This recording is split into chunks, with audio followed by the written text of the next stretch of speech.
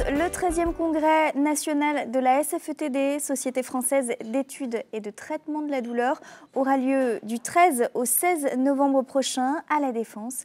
L'occasion pour nous de rencontrer Michel Lantéry-Minet, neurologue et président de la SFETD, et son vice-président Didier Bouassira. Bonjour à tous les deux, comment allez-vous? Très bien.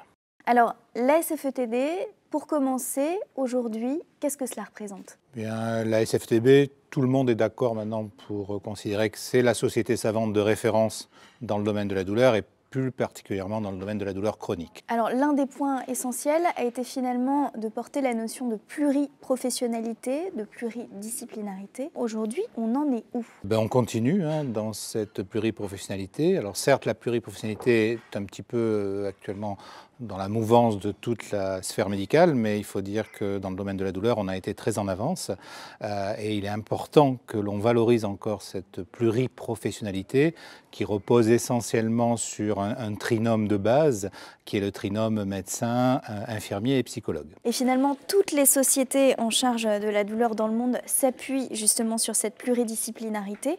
Euh, sur le sujet, justement, Didier Bouassira, sur le congrès, qu'est-ce que ça signifie? Cela signifie eh bien, de trouver des thématiques qui soient fédératrices, qui permettent de rassembler tout le monde, pluriprofessionnalité, multidisciplinarité. Donc ça, c'est la charge du conseil scientifique du, congrès qui doit effectivement organiser des sessions qui soient capables d'attirer le plus grand nombre et d'intéresser le plus grand nombre. L'un des enjeux majeurs aussi, ça a été de porter le congrès à l'international. Quel est le résultat?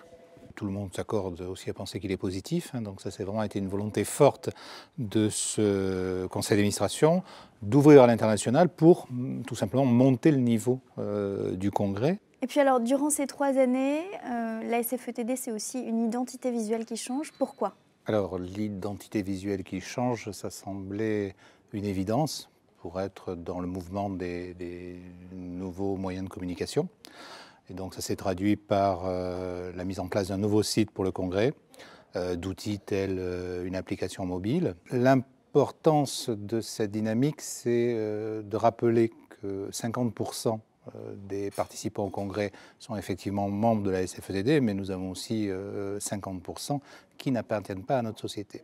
Et ces nouveaux modes de communication sont quand même un moyen d'ouverture et d'optimiser la visibilité de notre société et de nos travaux sur la douleur. Didier Bouassira, l'objectif pour demain, en résumé.